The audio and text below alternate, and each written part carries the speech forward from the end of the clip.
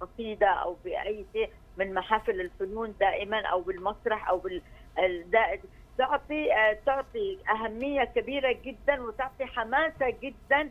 قد نستطيع أن نقول إنها هي الشرارة الأولى الذي تشعل وجدان الشعوب والناس عامة. لأنه عندما تجد إن الفن يتجه إلى يعني إلى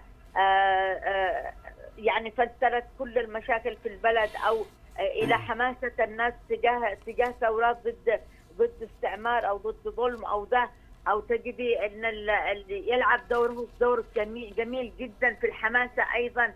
آه الناس تتفاعل مع الفن تتفاعل مع الأغنية تتفاعل مع المسرح تتفاعل مع ده. فهو يعطي دور مهم جدا جدا جدا الفن.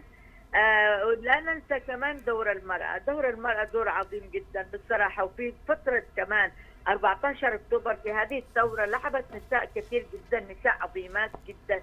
لعبوا دور مهم جدا زي الفقيدة زهرة هبة الله والفقيدة عايدة علي سعيد ونجيبة محمد عبد الله والفقيدة رضية أحسان والفقيدة سميرة قائد أغبري نعم.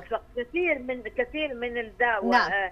ويعني لعبوا دور كمان يعني لعبوا دور جميل جدا ونجوى مكاوي لا ننسى هذه المرأة القوية نجوى مكاوي نعم صحيح. لعبت دور غير عادي فهنا نساء كثيرات جدا قاموا بدور غير عادي في الجبهة القومية وفي جبهة التحرير وساندت أخوها الرجل